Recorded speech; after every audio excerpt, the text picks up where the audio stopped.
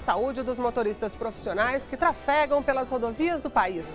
Para saber, a Polícia Rodoviária Federal convidou médicos, enfermeiros, nutricionistas e fisioterapeutas para uma blitz. É mais uma forma de orientar quem vive com o pé na estrada. A redação da NBR foi conferir o trabalho dessa equipe.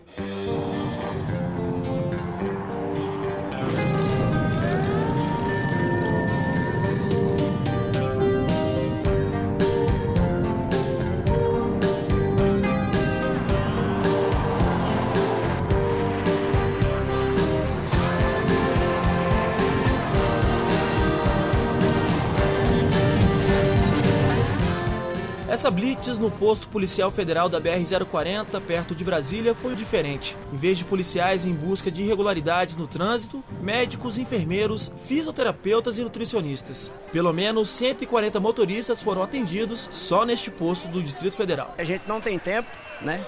E essa paradinha que dá não vai perder tempo nenhum, não, né? E eu tô achando bom.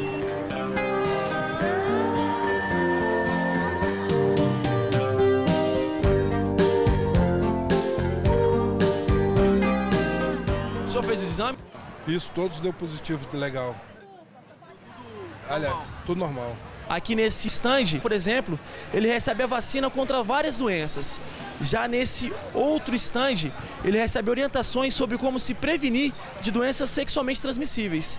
E nesse stand aqui, ele faz o exame para saber se tem hepatite C. Essa é uma população que é, é a mais atingida pelo vírus da hepatite C.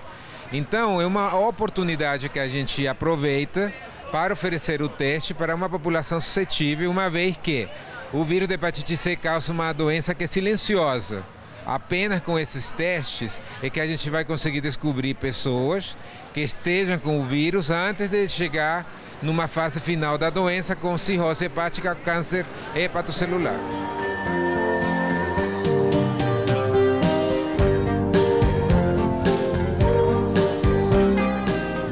Todo, são cinco etapas de exames e orientações. Foram analisadas a visão, a força manual, a frequência cardíaca e a pressão arterial, além do colesterol e a glicose dos motoristas. Dados do Comando de Saúde da Polícia Rodoviária Federal apontam que 85% dos caminhoneiros sofrem de obesidade e 35% têm pressão alta. Um dos motivos né, que fez com que a Polícia Rodoviária buscasse esse tipo de trabalho é justamente a redução de acidentes. A gente sabe que existem acidentes que às vezes não tem uma causa ali aparente, né?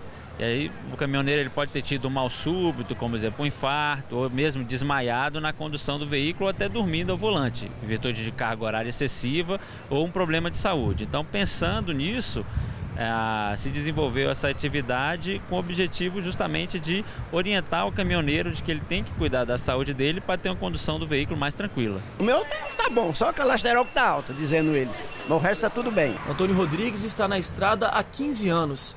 Ele passou por todos os exames e ficou satisfeito pela oportunidade. E aí, como é que foi aí os exames? Deu tudo certo? Ok, ok, tudo certinho, né? Isso é muito bom de fazer isso aqui porque muitas vezes a gente não sabe nem o que que, que tem, né? Descobre imediatamente uma doença um pouco difícil de resolver, né? E com esses exames aqui você sabe que tá tudo ok, tá pró- pronto para trabalhar, né? Pronto para andar nesse trânsito que é um pouco difícil, né? Isso é muito gratificante a gente. Obrigado a vocês.